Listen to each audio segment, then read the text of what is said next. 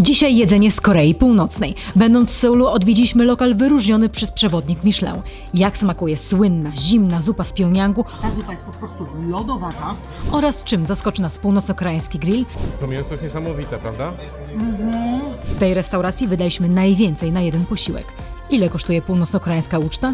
No najdroższy Dużo. posiłek. Najdroższy posiłek, najdroższe miejsce, w jakim byliśmy w Korei.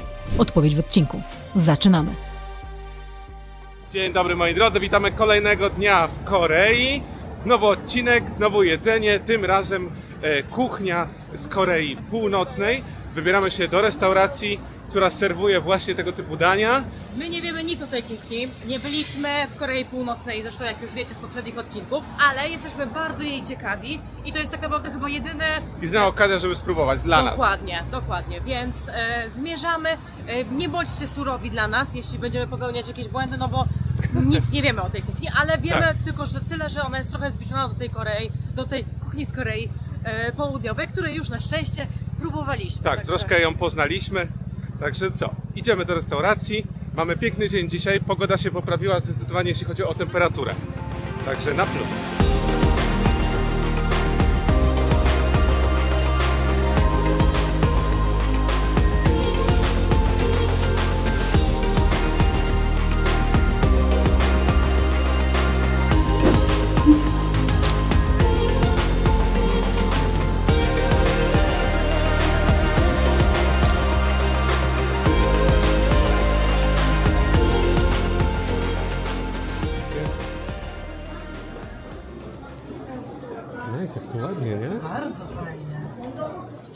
Przyznać, że jest klimacik.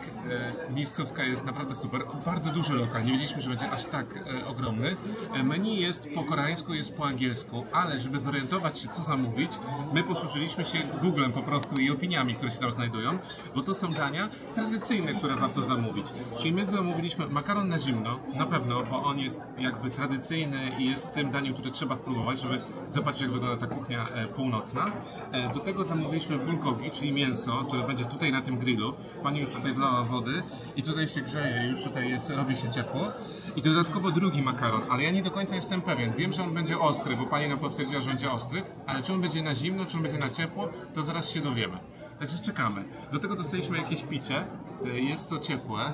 E, Nie mam pojęcia co to jest. Chyba jest jakaś herbatka. Muszę też doczytać na ten temat, żeby... ale widzę, że ludzie tutaj w opiniach ją gdzieś tutaj oznaczają i piszą różne rzeczy.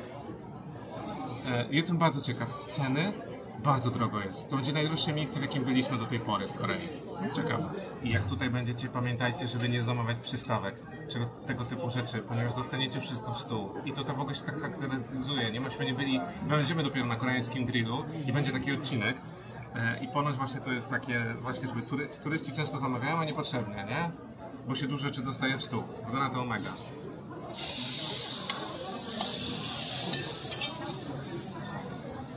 Nasze bulgogi już do nas przyszło. Ja przeczytam wam co to jest. Jest to, słuchajcie, danie kuchni koreańskiej, przyrządzane z cienko pokrojonej w paski wołowiny marynowanej przez minimum 2 godziny w sosie sojowym z dodatkiem czosnku, soli, cukru, oleju sezamowego, cebuli oraz sezamu. Do tego mamy e, masę takich e, e, małych miseczek, w których są różne kiszonki i pani nam tutaj będzie pomagać, bo my się w ogóle nie znamy. Ale pani wszystkim robi. Tak, wszystkim robi, żeby nie było. Wygląda, jak mam szczerze, mało apetycznie. Są tutaj cząstki, e, raz, dwa, trzy, cztery kawałki grzybów, Ciekawe, że to tak szybkiego, pieczarki. chyba pieczarki. To może wyglądać mało apetycznie, ale no, spodziewam się, że będzie dobre. Fajnie, że to jest takie...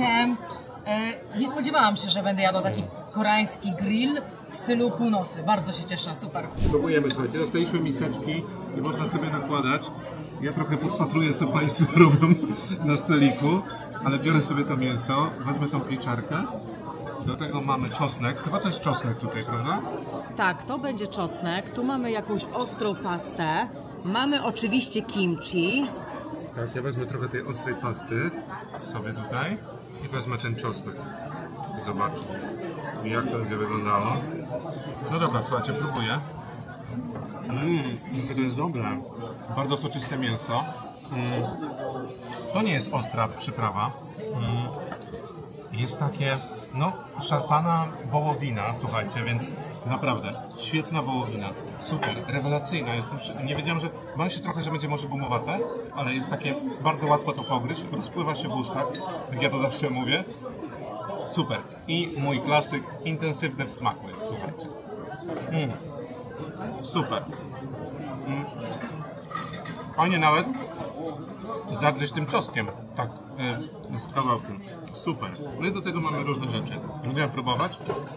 Teraz Klaudia spróbuje. Rewelacja. Moi drodzy, my w ogóle dostaliśmy już oczywiście nasze zimne zupy. One są, to jest lodowate naczynie. Do tego dostałam nożyczki, ale to będzie zaraz. Pani tutaj nas pośpiesza, żebyśmy jedli. Jeść. Śmieję się z nas, że nagrywamy. E, Ale jemy już, jemy, E, to ja też próbuję. E, Powiem Wam, że ja zauważyłam, że Pani na przykład wzięła sobie kawałek liścia i w ten liść, liść, co ja mówię, w sałatę, liść sałaty, Liść sałaty. wsadziła e, mięso, wsadziła sobie kimchi, Ej, ja super. spróbuję, tak, ja spróbuję jeszcze tej cebulki. Bardzo mnie ciekawi tutaj to, bo to jest chyba jakaś rzodkiew. To jest rzodkiew, tak. Dobra. I zobaczymy jeszcze to. Czemu nie? Ciach. I po prostu sobie to, żeby mi nie spadło. Zawinęła i zjadła. Czyli tak jak y, w mm, Wietnamie. W Wietnamie, no. Próbuję. To mięso jest niesamowite, prawda? Mhm. Nie spodziewałem się, że będzie tak pyszne. Ja też nie, ale słuchajcie, jakie to jest... To, Pokaż te, co tam, twoją tak, kompozycję. Mm, moja kompozycja. Ja po prostu, słuchajcie, byłam, wszystko przyszło nagle tutaj do stołu, więc ja po prostu obserwowałam ludzi, jak jedzą, bo nie miałam żadnego pojęcia, jak się do tego zabrać. Ale powiem wam, że Tak, jest wszystko wydarzyło się bardzo szybko. wszystko od razu, pach, pach, pach, dostaliśmy wszystko w stół. Bardzo smaczne. W ogóle to kimchi, ja aż sobie spróbuję oddzielnie, bo ono podobno ma być jeszcze ostrzejsze niż to z Korei Południowej. No. Albo my jesteśmy już przyzwyczajeni. Albo jesteśmy przyzwyczajeni. W ogóle powiem Wam, że te kiszonki są niesamowite. Ja Wam bardzo polecam, żebyście odwiedzili Seul. Nawet jeżeli nie interesuje Was jakoś specjalnie kultura, to dla jedzenia. No po prostu mistrzostwo świata. I jak będziecie, to koniecznie zajrzyjcie do tej restauracji, bo ja jestem no w szoku. Przepysznie jest. Bardzo, bardzo smaczne. Zajadamy i może jeszcze powiemy coś więcej, jeśli na coś padniemy, coś nam, coś nas zaskoczy.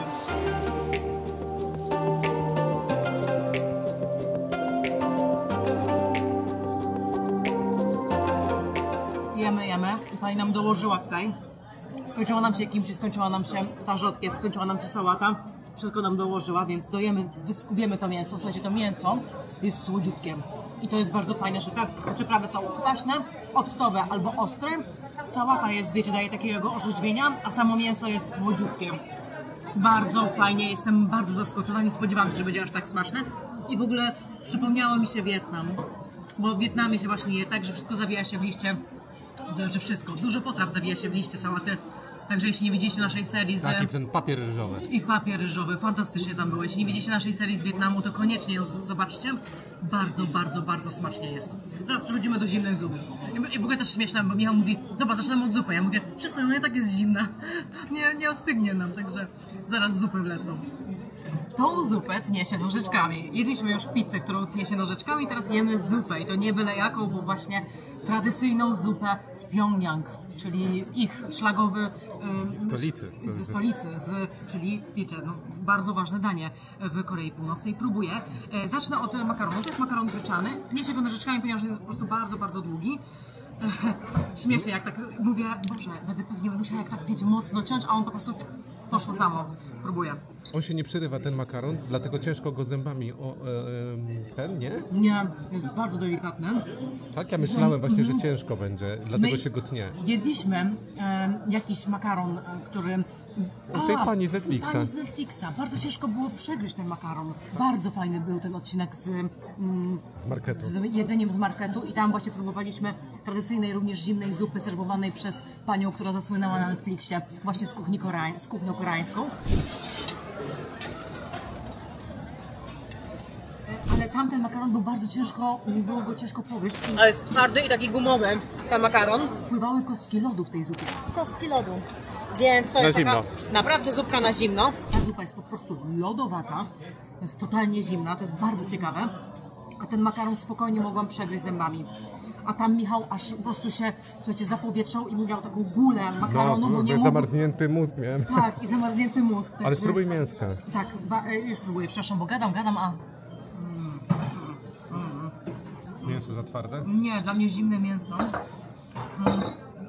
No jest ugotowane, nie? Mhm, no, oczywiście ono jest ugotowane i w ogóle, ale no, ono jest zimne. To tak jak, wy- jak macie czasami na ślubach e, taką pieczeń, która jest po prostu jako przystawka, to trochę podobnie smakuje. Ja nie przepadam za takim mięsem. Jest tutaj oczywiście rzodkiew, A, no i warto Mm. powiedzieć, gruszka, ale taka i kapusta chyba. Aha, kapusta? To jest kapusta. Mhm. Gdzie jest jeszcze ta gruszka? Pokaż tą gruszkę leżą. Może gruszka. A kapusta, słuchajcie, jest kwaśna, jak nasza kiszona. Ale ciekawe połączenie. Nie no, musisz, przepraszam. Michał, musisz spróbować, bo widzę, że zaraz mu popędź wyrośnie. Ja chciałem, słuchajcie, jeszcze dopowiedzieć, że generalnie jeśli chodzi na przykład o kimchi, które tutaj mamy, to można je sobie wrzucić do zupy i niektórzy tak robią. Chcesz wrzucić Ci do tej? E, możesz, a nie chcesz Ale najpierw spróbować? spróbuję bez Właśnie. kimchi. Jestem bardzo ciekaw tej gruszki. Bardzo dobre, miękka. A jeśli chodzi o tą kapuchę, to już próbuję, ona jest bardzo kwaśna. Mhm. Jak nasza kiszona. Spróbuję tego mięsa. Bardzo dobre, lekko twardawe. Ja bym to przyrównał Wam do mm, zimnych nóżek. Do mięsa w zimnych nóżkach. W galarecie. To na 100%. To tak można sobie ten. A jestem ciekaw tego makaronu. Ja się go boję. Bo ja mam tak złe doświadczenia u tej pani z dokumentu Netflixa, że mi głowa zamarzła. Aż mnie w głowie zmroziło. Ała. Po spróbowaniu tego makaronu, że się trochę boję. Mm. Ale dobry. Jaki pyszny. To jest taki makaron, jak wyciągacie makaron z wody, zalewacie, trzymacie go w durszlaku i zalewacie zimną wodą i później go sobie tak dziubiecie e, z tego durszlaka. To jest właśnie to. Mm, on jest bardzo delikatny, bardzo fajny w smaku, nie tak jak tamten. Moim zdaniem to jest dużo smaczniejsze niż u tej pani e, z tego dokumentu Netflixa Tak. na tym targu. Tak, Dużo. zdecydowanie. Tak. W ogóle przepyszna jest ta zupa. Nie spodziewałem się. Mieliśmy obawy co do tego miejsca, ale jestem bardzo pozytywnie zaskoczony. Super. Zobaczymy moją. Moja, słuchajcie, zupa jest mega ostra. Okej, tu jest mięso, tu jest kapucha. Ja muszę tak pociąć. My trochę czekaliśmy i ta... I to niestety ten makaron troszkę się został, dlatego pani krzyczała, dlaczego nie jemy. Dobra. Zaraz nie chwycisz go tymi pałeczkami. Nie Słuchaj. chwycę go zaraz pałeczkami, odkładam nożyczki i próbujemy. To jest najostrzejsza pozycja tutaj. Chyba, tak jak pani powiedziała, że jest spicy, spicy, czy jestem pewien na pewno. No to spróbuję. Makaron wygląda bardzo podobnie do, ta, do zupy tutaj. Prawda? Tak, tak, tak, tak. Makaron jest podobny, ale mam wrażenie, że ciut inny. Wiesz co, no może stał, nie? Może, to jest nasza wina. Może stał troszkę. Mm, spróbuję tego mięsa. Mm. Mięso lepsze, mam wrażenie. Ale bardzo podobne, jeśli chodzi o twardość. Ale tutaj też są przyprawy. No jest to inne danie, więc tam mam wrażenie po prostu jest mniej przypraw. No tutaj górują te przyprawy. Też mamy gruszka. Mm. Też mamy kiszonki. Ale jest ta pasta ostra. Nie jest jakoś mega ostra. Totalnie nie jest ostra. Znaczy, ja czuję ostrość, ale po tygodniu w Korei to już mi nic nie jest straszne. No ja myślałem, że to jest zupa, a tutaj nie ma wody. To jest po prostu to jest danie na zimno, właśnie e, z tym ostrym sosem. Moim zdaniem dużo smaczniejsze od tamtej zupy. Mega. Jest przepyszne. Już daję Klaudii, żeby spróbowała, ona kocha ostre. Wydaje mi się, że to danie jest zdecydowanie dla niej, ale ja też zjem pół, na, na pół jedziemy, prawda? Na pół, tak. Na pół. Ja w ogóle zauważyłam, że my tak się śpieszymy i tak e, jest tego dużo tutaj, że mówimy z pełnymi ustami. Dużo lepsze jest to danie, prawda? Sezam. Pierwsze co poczułam to sezam, nawet nie Naprawdę? ostrość, tak. Ja nie poczułem Dużo sezamu. sezamu tutaj jest. A jest, faktycznie, dobra. Dużo sezamu. On tutaj, ja nie wiem czego wy go zobaczycie na kamerze, ale jest faktycznie. Tak, ten makaron jest, słuchajcie, to, że on wygląda teraz tak, Czekaj- czekajcie już, o, że on jest taki zbity, to jest ewidentnie nasza wina. My powinniśmy go zjeść od razu, nie? Tak, tak, tak. A, a po prostu nagrywaliśmy milion rzeczy. E, Michał go tak pociachał, że ja teraz mam problem z tym, żeby nabrać pałeczkami. No, bo ja tak pociąłem, ja tak pod siebie trochę e, pociąłem. Nie mam problem, bo ja nie umiem tego. Ja bym chciała, żebyście tutaj byli i spróbowali. O, Tak. że ciężko jest powiedzieć, jak to smakuje, bo ja czuję i słodkie, i tu ostre w tym przypadku, i ten sezam, I kwaśność. No po prostu wszystko naraz. Jest tak ciekawa ta kuchnia. Spróbuję mięsa. No ja mówię, tak jak mówiłam, nie lubię, nie lubię zimnych mięs. Cóż nie chcą ze mną współpracować te pałeczki. Już. Tak, w ogóle te metalowe pałeczki są ciężkie, prawda? Tak, są fatalne, dlatego specjalnie je kupiliśmy do domu, żeby e, znajomym zaserwować danie, niech się męczą. Troszkę inne, nie? chyba- Ale kwestia przypraw. Najprawdopodobniej to są przyprawy. Mhm. Powiem Wam, że mi też o wiele bardziej smakuje to niż ta e, tradycyjna zupa pjongjangu. Bardzo, bardzo smaczne, ale się cieszę, że tu jesteśmy. W ogóle Na mam maksa, takie, że super. fajnie, że to, tego spróbowałam, bo raczej nie będzie nam dane być w Korei Północnej. W wyniku obserwacji innych osób, które zasiadają w tej restauracji, zobaczyliśmy, że e, pan do tej zimnej zupy dolał zawartość tego. I to jest chyba jakiś taki ocet e, jabłkowy, coś takiego? Oj, nie wiem, czy dała aż tak dużo. Ja tutaj sobie dołożę kimchi. Dołóż sobie kimchi, ale wiesz co, ja spróbowałam tego y, samej, samej wody, że tak powiem, samego bulionu i smakuje jak podjadacie rosół z lodówki. Ale taki bardzo lekki jest ten rosół. Mm, dał takiego, takiego fajnego posmaczku ten, ten ocet, nie wiem co to było. Lekko słodkie się zrobiła ta zupa. Ja tutaj dołożę to kimchi, bo Klaudia na pewno będzie chciała zjeść ostre, Oczywiście. więc yy, nie mam obaw. I zaraz zobaczymy, czy ona troszkę nabierze charakteru, ta zupka, takiej ostrej. Mam nadzieję, że tak. Mm. Mega dobra. Zrobiła się taka bardzo podobne do tego dania, tylko że bez wody. Super. Słuchajcie, porcje są ogromne. Ten grill był taki sam raz. Po prostu, żeby sobie tak troszeczkę zrobić taki, że jest się głodnym. Taki smaczek pierwszy, zaspokoić. Ale te porcje są ogromne. I jeszcze chciałam powiedzieć, że może zróbcie sobie kiedyś taki, taki eksperyment w domu, że weźcie gruszkę, zjedzcie ją na ostro. Macie, że ja nie wiem, jak chciałabym, żebyście mogli to jakkolwiek odtworzyć w domu. I ja sama też zimnym będę, makaronem. ja sama też będę szukać. To jest zimny makaron, gruszka, do tego jeszcze jakieś kiszonkę sobie wrzućcie i ostro pastę chili. No, niesamowite to jest, naprawdę. Także słuchajcie, walczymy, Walczymy, bo Nie wiemy, czy są, zjemy wszystko. porcje są ogromne. a nie zamówiliśmy jakoś nie wiadomo dużo, bo to jest tylko tak naprawdę Tak. właśnie ten starter, taki przystawka. Te bulgogi, buldogi, nie? I po daniu to teoretycznie powinniśmy to dźwignąć, ale powiem wam, że do tego makaronu jest naprawdę dużo, on jest syty też. No. Już podsumowanie tym razem. Moi drodzy, za całość, za cały stół zapłaciliśmy? 106 tysięcy.